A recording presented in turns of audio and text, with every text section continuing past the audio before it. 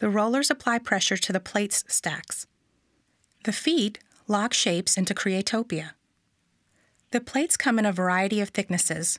The configurations are determined by dies you already own. Shapez is compatible with most manufacturers' dies. Insert Shapez into Creatopia with the gear on the same side as the crank handle. Insert feet of Shapez into the holes in the bottom of Creatopia. Slide Shapez toward handle until it locks into position. Fold down tray and slide toward Shapez. To unload Shapez, slide tray out and rotate up. Slide Shapez away from handle.